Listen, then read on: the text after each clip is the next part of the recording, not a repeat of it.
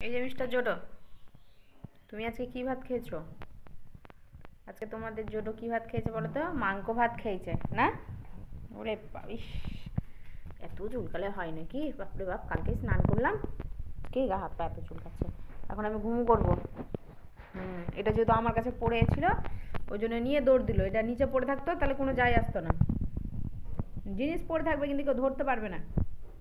আচ্ছা শোনো না, তুমি কি ভাত খেয়েছো একটু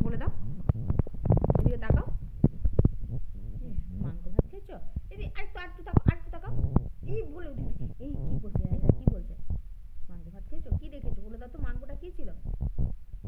এই হ্যালো বলে একটা মেয়েতে ছিল, আমি তো আলু খেতে ভালোবাসি, আলু ছিল, আর কি ছিল? এক টুকরা মাংস ছিল।